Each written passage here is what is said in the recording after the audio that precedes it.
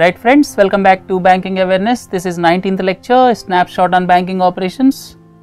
We have learnt about Reserve Bank of India in uh, 18th part of uh, snapshot on banking operations and now in this 19th part we are going to differentiate between key terminology. Let us look at the first one. The difference between IPO and FPO. IPO is initial public offering FPO is follow on public offer. What is the difference between IPO and FPO? IPO is initial public offering. It is issue of shares to the public by the promoters of a company for the first time. For the first time, when a company is offering shares, that is called initial public offer. Company with a view to grow or with a view to expand their operations uh, resort to this IPO initial public offer and the methodology will be written by underwriters. When a company is going for IPO of around 2000 crores or 3000 crores, they may not be able to write the modalities of these collections such as uh, how to divide them into shares of what value, all these things will be written by the underwriters. So, when the first time a company is issuing shares to the public that is IPO and please do not forget shares gives you the right over the ownership of the company. Shares is different, debentures are different. Shares means you are becoming a owner when you are purchasing shares, you are becoming part owner of the company. That's why you are called equity holder.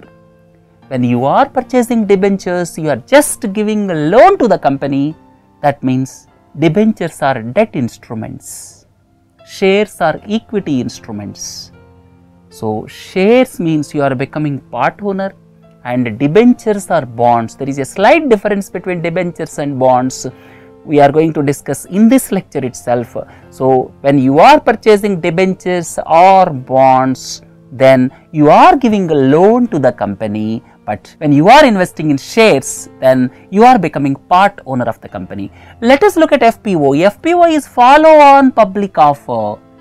Initially, a company has gone for 3000 crores of rupees of IPO and they want it to further expand they are going to expand it by another 1000 crores when for the second time when they are going for public issue that is called follow on public offer. Follow on public offer is the process by which a company already listed in a stock exchange issuing new shares to the investors or the existing shareholders right. So, these two IPO and FPO the difference you should be very clear and I would like to tell you few things.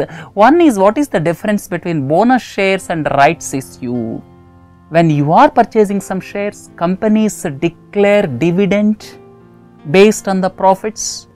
When you are becoming part owner, you will be paid dividends when company is in profits and instead of dividend, some companies will give you additional shares without any extra cost. You need not pay anything.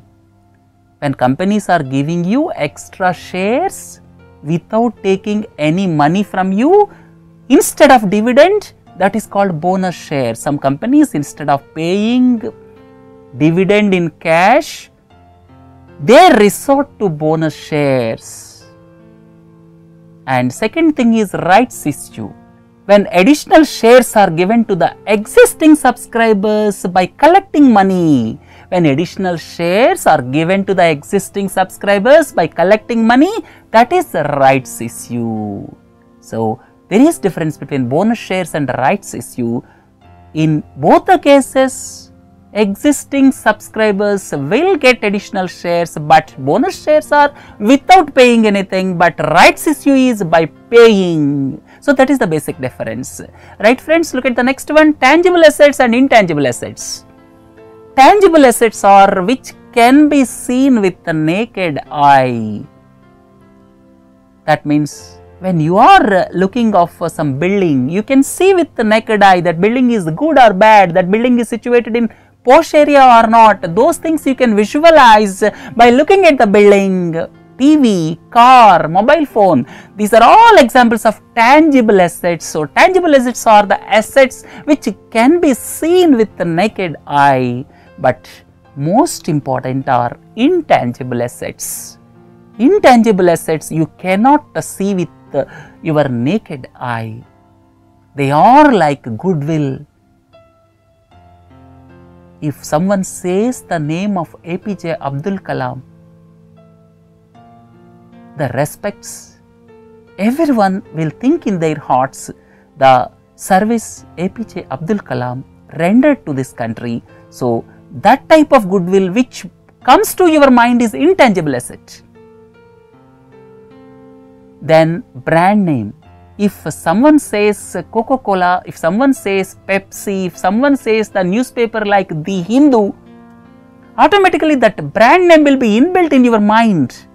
It gives some value to the brand. So, that is intangible asset, credit worthiness. If one of your friend is asking money, if his credit worthiness is good, then you will immediately give him money. But previously a defaulter is asking you money, you will hesitate to pay him money because of his previous record that is credit worthiness. Next one is knowledge. Next one is your intellectual capability. These are the things which you cannot see with the physical uh, eyes. That's why these are called intangible assets. Tangible assets may be important, but intangible assets are far more important because you cannot uh, build up a reputation in one single day right friends look at uh, authorized capital and paid up capital when a company is established they are supposed to register with registrar of companies when a company is established it is supposed to register with the registrar of companies and in the memorandum of association, I will explain what is memorandum of association subsequently. In the memorandum of association, the amount of share capital will be fixed which the company is expected to raise. That is called authorized capital. As per the Companies Act, you are supposed to file memorandum of association memorandum of association you have to register with registrar of companies in the memorandum of association, you are supposed to indicate how much share capital you are going to raise 2 crores, 5 crores, 10 crores. That is authorized share capital. That means you can raise the share capital up to that limit only, you cannot exceed that limit. So, that means authorized share capital is the maximum share capital which you can raise from public. Then paid up capital is the authorized capital of that particular company that has actually been paid up. If the authorized capital listed in memorandum of association is 100 crores, you may or may not raise 100 crores at one instance. You may go for 50 crores. Later on, you may raise another 20 crores. So, paid up capital can be equal to or less than authorized capital. So, paid up capital is the capital actually paid up by the shareholders and authorized capital is the maximum limit up to which a company can raise from public whereas paid up capital is the capital which is actually raised by the company right friends? Look at the next one. Memorandum of association articles of association. These two are important documents for any company. When a company is established they have to zero in on memorandum of association and articles of association. But memorandum of association is supreme public document. Subject to the companies act you can formulate the supreme public document indicating what exactly your company wants to do. What are the objectives? What are the powers? What is the scope of the company? All these things are enunciated in the memorandum of association and this memorandum of association is public document subject to the companies act and it contains objects, powers and the scope of the company and it contains all the information the company is required to give at the time of incorporation and this is to be registered with the registrar of companies and if you look at articles of association, it is the secondary document and it indicates how the company is to be governed for day to day management. It talks about the rules and regulations for governing the company that is basically internal governance and it is subordinate to memorandum of association. Memorandum of Association is subordinate to Companies Act. Subject to Companies Act, you have to file Memorandum of Association with Registrar of Companies and this Articles of Association is subordinate to Memorandum of Association and if there is any clash in the articles between Memorandum of Association and Articles of Association, memorandum of association will prevail and articles of association is subordinate to memorandum of association. So, memorandum of association is the supreme public document indicating the objects, powers and scope of the company whereas articles of association talks about internal governance of the company. So, this is the basic difference you should not forget macroeconomics and microeconomics. Macroeconomics day to day we are looking at GDP, India's GDP has grown by 7.4 percent in quarter 2 of financial year 15-16. Inflation, CPI inflation is at 5 percent.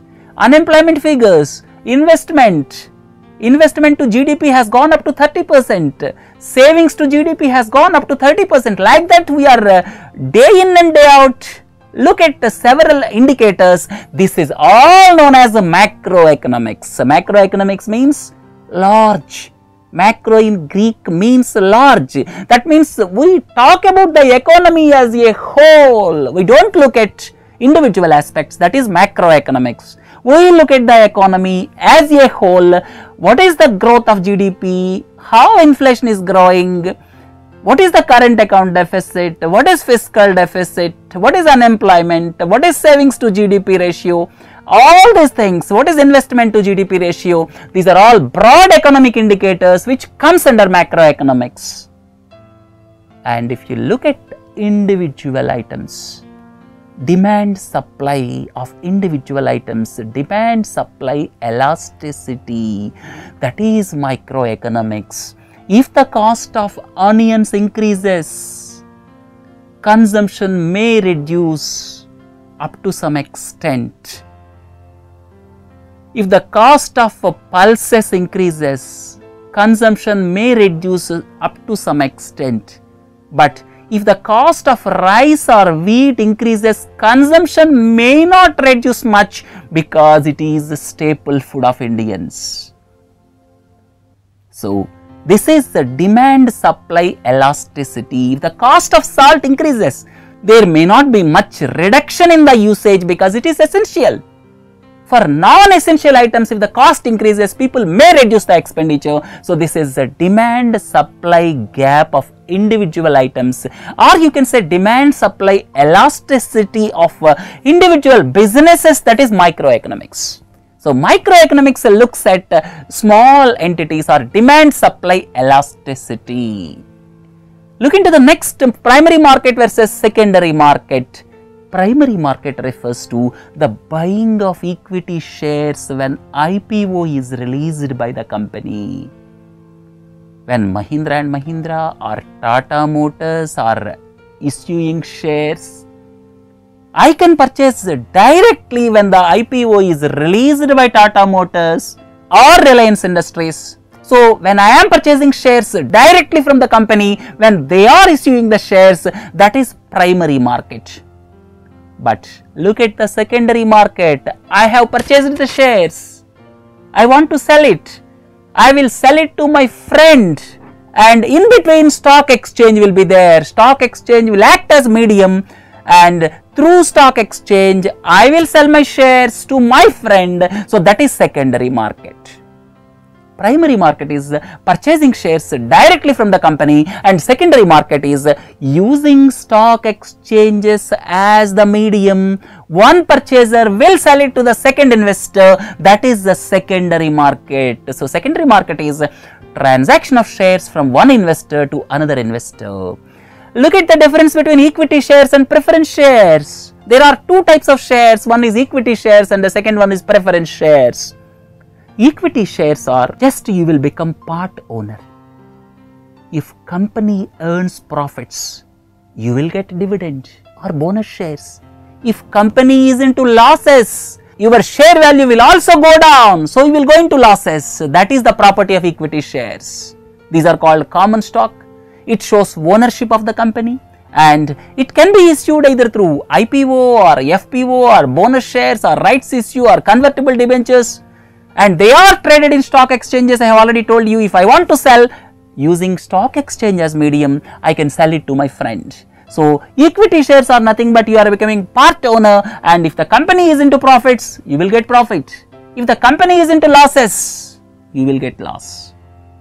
And preference shares are irrespective of company going into losses or profits, they will be given certain dividend. I have already told you dividend is announced when a company is into profits over the shares whether the company is in profit or losses or liquidation, it does not matter. Preference shareholders should get stated dividend. So, preference shares are some sort of hybrid instruments. Preference shares are some sort of hybrid instruments where stated dividend is given. That means they combine the properties of debentures as well as equity shares if the company is into losses or if the company is going into liquidation, then debenture holders will get first preference. Whatever left over in the company, debenture holders will get first preference, followed by preference shareholders, then followed by equity shareholders. So, this is the priority when the company goes into liquidation. Let us look at the difference between debentures and bonds. And please do not forget, Equity shares are different. Equity shares are the shares where you are getting part ownership. Then comes preference shares. In preference shares, you will not only get part ownership, but you will get certain dividend also irrespective of whether the company is going into loss or profit. But when you come to the debentures, debentures means you are just giving a loan. Bond is also you are just giving loan that is a debt instrument. Equity instrument is ownership. Debt instrument is you are simply giving loan, they will pay you stated interest. You are not bothered about their loss or their profit. You are not bothered about their loss or their profit. You will be paid only interest. So, these are debt instruments. So, debt instruments are debentures and bonds. That means you are giving a loan to the company and they will pay you fixed interest as per the agreed terms. But there is a difference between debentures and bonds. As a thumb rule, bonds are normally issued by government entities or public sector entities.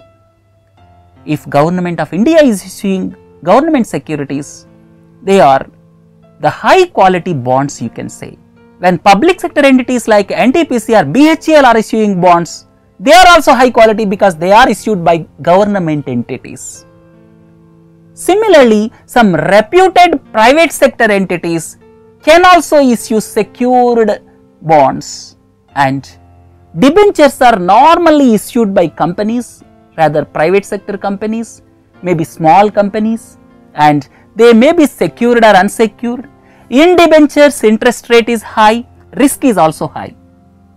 So, debentures are normally issued by private sector companies. They may be secured or unsecured. You may ask difference between secured or unsecured. They may be secured by some collateral property. That means, if company not able to pay back to you, then you will have some collateral. Unsecured means there is no collateral. If company is not able to pay to you, then it is your risk then interest rate is high, risk is high. So, these are the properties of debentures, but bonds are high quality debentures you can say. Your money is more safe in bonds. These are issued by government sector companies or you can say public sector entities. So, in bonds your money is more safe. As the money is more safe, you will get less interest. So, bonds will carry less interest, debentures will carry high interest. most of the times bonds means issued by government or public sector entities. As the risk is less, interest is also less. Debentures means they are issued by companies, they may be secured or unsecured. As the risk is high, interest is high. So, this is the basic difference between debentures and bonds. Please do not forget debentures and bonds are debt instruments. That means you are giving a loan to the company and they will pay you interest irrespective of profits or losses to the company. Look at the next one difference between shadow banking and para banking. Shadow banking operations. If you want house loan, you can go to bank or you can go to LIC Housing Finance Limited or HDFC Housing Finance. If you want car loan, you can go to State Bank of India or you can go to Bajaj Finance. If you want gold loan, you can go to Punjab National Bank or Manappuram Finance or Muthoot Finance. So, the activities which are undertaken by some intermediaries what the banks are doing, you can get car finance from banking system. Similarly, you can get car finance from other firms also like Bajaj Finance, Shriram Finance. So, you have option to get car finance. At the same time, house loan, you can go to State Bank of India. Similarly, you can go to either LIC HFL or HDFC home loans. If you want gold loan, you can go to Punjab National Bank or you can go to Muthoot or Manappuram.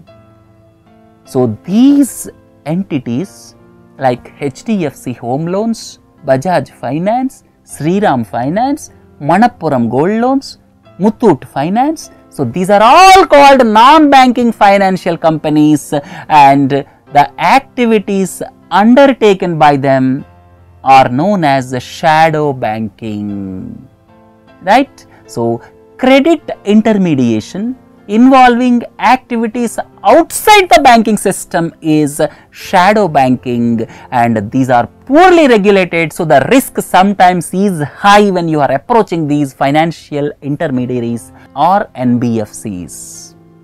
And what is para banking? Nowadays banks are doing everything. In addition to accepting deposits, giving loans, banks are also doing several other activities like issue of credit cards, issue of smart cards. Banks are into mutual funds.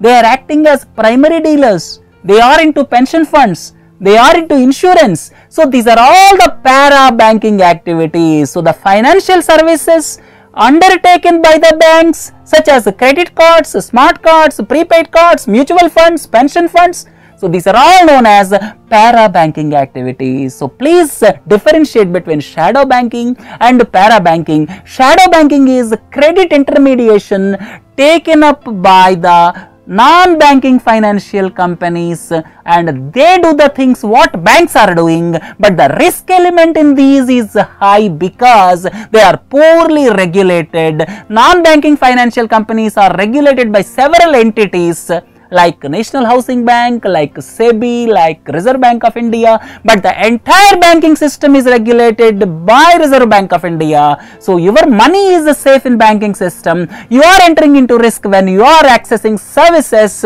through these non-banking financial companies.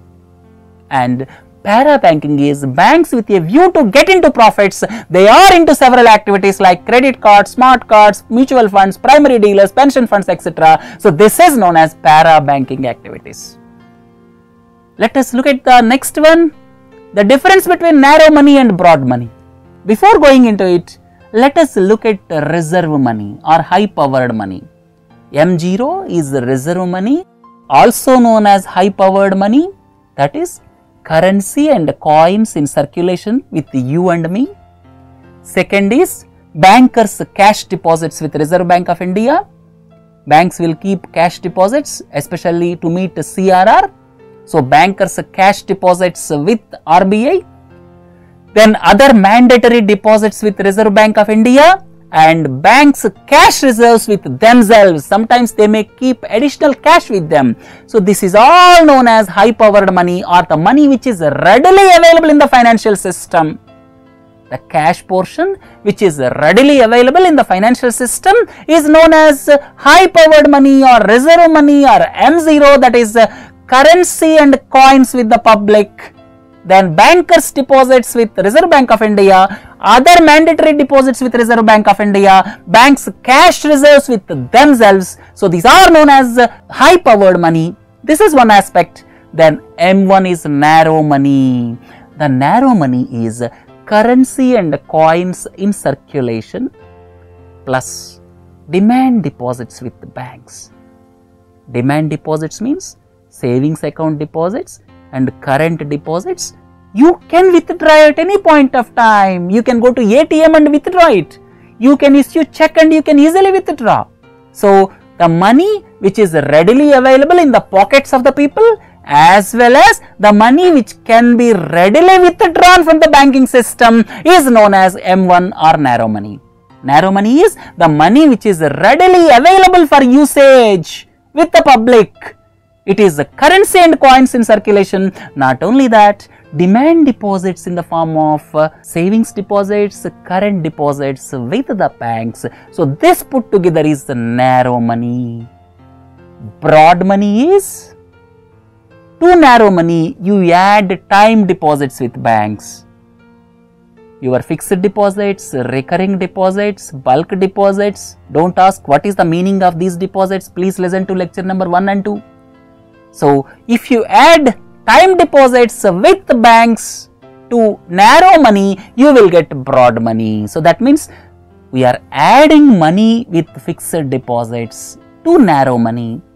Fixed deposits are mature after particular time, but if you want with the penalty, you can withdraw. Normally, very few people will withdraw, but if you want, it is available. So, narrow money is the money which is readily available with the public that is currency and coins in circulation plus demand deposits with banks, but broad money is narrow money plus time deposits with banks and M2 and M4 are also there. M2 is M1 plus savings deposits with post offices. M2 is M1 plus savings deposits with post offices and M4 is M3 plus all deposits with post offices. M4 is M3 plus all deposits with post offices. So, I hope you got clear view about what is M0. M0 is high powered money, but for the calculations which are undertaken by Reserve Bank of India at the scheduled periods, this M0, M1 and M3 are important. Right friends, look at the last one Hard currency and soft currency. Hard currency is the currency of highly industrialized country like USA, like Japan, like Germany. The country should be highly industrialized. The country should be politically stable and the transactions are transparent. It is highly liquid in the foreign exchange market and normally stable over a longer period of time. When the currency is normally stable normally stable over a period of time and when these things are satisfied then it is called hard currency united states dollar british pound euro. These are examples of hard currencies. Soft currency. Soft currency high fluctuations are there Today the value may be high, tomorrow the value may fall by 10% or 20%. It highly fluctuates and a lot depends on the economic stability and the political stability in the country. Several African countries are not politically stable and this is normally not accepted for international transactions. As the currency is not stable, people will not accept it for international transactions. It is also called weak currency. So, if these things are satisfied, that is example of soft currency. currencies of several African nations fall into this category. Right friends, with this let us conclude uh, lecture number 19. Please do join for 20. Have a nice day. Thank you.